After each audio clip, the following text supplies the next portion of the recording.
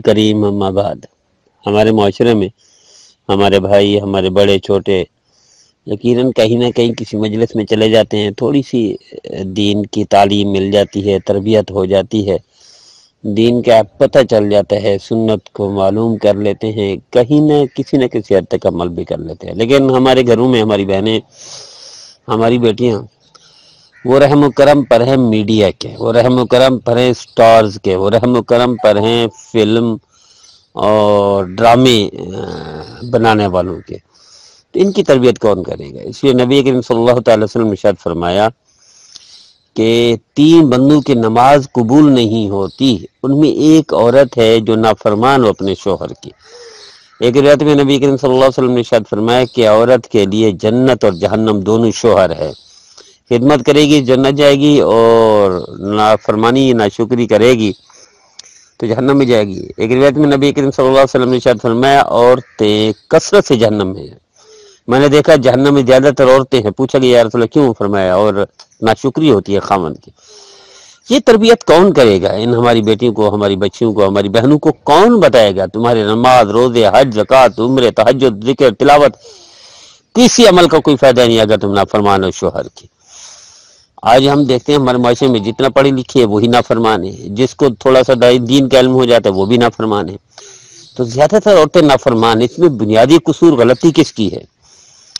तो अब हाथ में मोबाइल देखो, लाख, डेढ़ लाख, दो लाख का मोबाइल है, पचास हज़ार का मोबाइल है, साठ हज़ार का मोबाइल है, सत्तर हज़ार का मोबाइल मियाँ की तनख्वाह है, तकरीबन कोई पच्चीस तीस हज़ार, वालिद की तनख्वाह है, वो भी बीस हज़ार, पच्चीस हज़ार। तो इसके पास एक लाख का मोबाइल कहाँ से आ जाता है?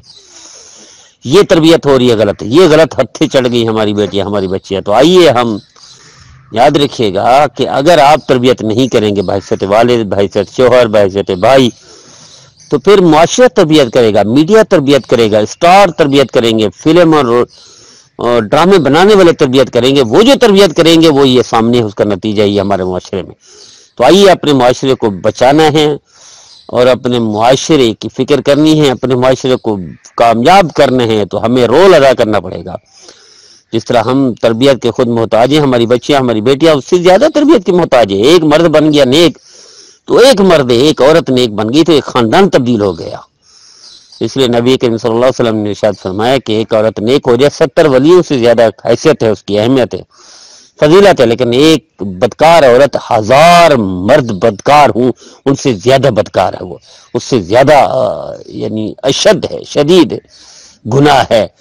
तो आइए हम तरबियत करें हमारी बेटियों की, हमारी बच्चियों की, इसमें शर्म ना करें। हमारे बैसत वालिद भाई बैसत भाई बैसत शोहर, मौत तक कोई बात नहीं बताते दीन की। शर्म शर्म करते हैं।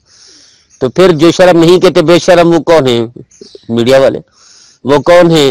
फ़िल्में बनाने वाले, वो कौन है? ड्रामे बनाने, वो जो तरबियत करेंगे, उसका नतीजा तो बर्बादी तबाही आएगा हमारे खानदानी।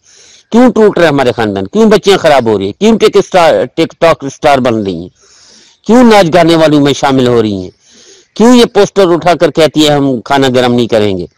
और हम वगैरह वगैरह, जो पोस्टर उठा के तमाशा बनता है पाकिस्तान में बड़े बड़े शहरों में, ये क्या है? उसी का नतीजा है।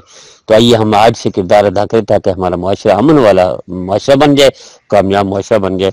उसकी बुनियादी सबसे बड़ी ये है कि तरबियत हम करें।